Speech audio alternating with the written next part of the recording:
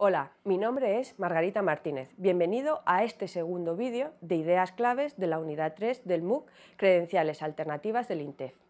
En este vídeo analizaremos cuáles son los criterios de evaluación, de validación y las limitaciones de los sistemas de credenciales de insignias para la certificación de competencias y destrezas.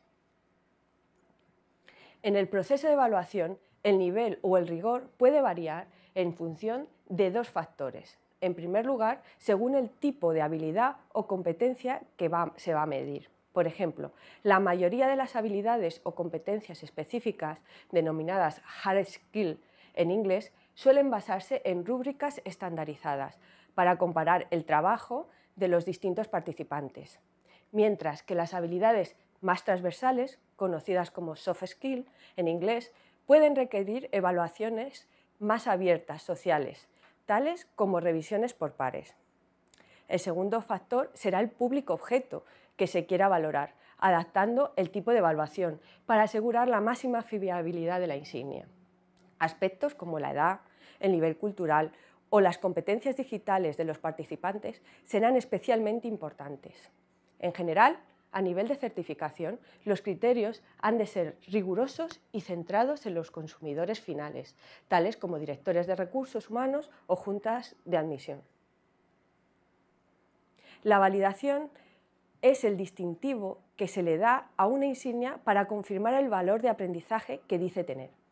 Para ello será necesario que un emisor respalde tanto la insignia como el proceso de obtención, teniendo en cuenta el ecosistema al que pertenece. Gran parte del valor que proporcionan las insignias para certificar y validar procede de los metadatos que se le atribuye. La información vinculada a cada insignia sirve como justificación, indicando, por ejemplo, de qué forma se obtuvo, cómo ha sido expedida y la fecha de emisión.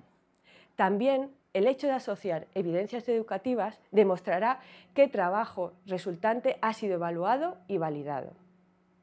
Existe una tendencia hacia sistemas de validación avanzados y más explícitos, integrados en infraestructuras de insignias, normalmente en la plataforma donde se da la evaluación. Por ejemplo, elementos que aseguren la autenticidad de la persona, como es la firma digital, o métodos de reconocimiento facial o de escritura que darán mayor validez a la insignia.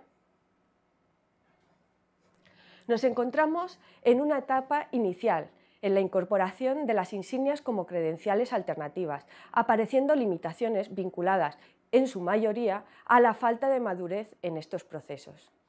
Hemos de conseguir una mayor aceptación por parte de las instituciones y un mayor reconocimiento por parte de los empleadores o consumidores. Esto tendrá que ir de la mano con una actitud responsable a la hora de apostar por este tipo de credenciales, evitando caer en la tentación de crear insignias carentes de valor o fuera del plano educativo. Técnicamente, es sencillo crear insignias y cualquier persona podrá hacerlo. Será imprescindible un diseño previo, teniendo en cuenta unos criterios y evidencias suficientes que le den valor a la insignia, sobre todo de cara a terceros la información que incluyamos será primordial. Eso por eso son necesarias herramientas más completas con una mayor integración en los sistemas online y donde la autentificación de los usuarios sea más segura. Por último, aunque ya existen estándares como los de Open Budget, todavía hay sistemas que no son compatibles y eso supone una limitación a la hora de integrar y compartir insignias. Tendremos que apostar por plataformas que sigan dichos estándares a la hora de crear y gestionar nuestras insignias.